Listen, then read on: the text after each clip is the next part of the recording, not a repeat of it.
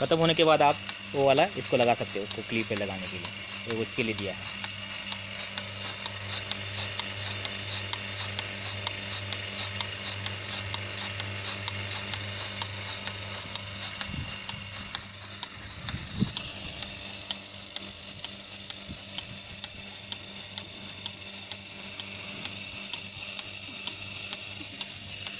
Thank you. तो